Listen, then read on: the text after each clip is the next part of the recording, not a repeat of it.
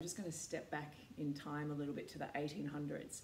There was a chemist in France called Louis Pasteur.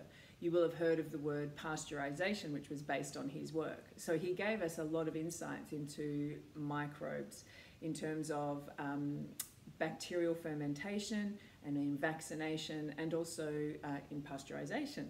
So, what his body of work pretty much said was the germ causes disease most of medicine is based on this idea that germ causes disease. Okay, great. Well, it does. Yes, there's definitely viruses and bacteria and worms and amoebas and things that create, create disease. There's no argument there. At the same time, in the 1800s, there was another chemist called Anton Béchamp. Now, Béchamp did a whole heap of other things, but one of the things that he did was argued with Louis Pasteur for most of his career he was saying to Pasteur, it's not the germ, it's the interior. It's the it's the an unhealthy interior creates the disease. Some of his ideas were pretty kooky in terms of the generation of disease because he totally dissed this idea of a germ theory.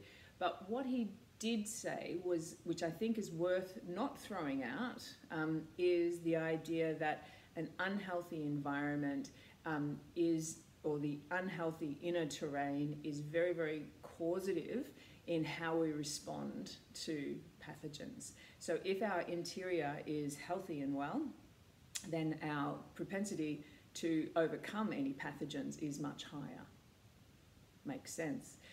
Interestingly, it's said that Louis Pasteur on his deathbed um, said, I was wrong, the terrain is everything. However, Louis Pasteur died when he was 73, and these guys were contemporaries, born around the same time, and Béchamp died at 91. So who knows what Louis Pasteur said on his deathbed. However, I think the point remains is that we can't not forget how important it is that our healthy interior um, can be developed and can be nourished in order to become more resilient to this disease.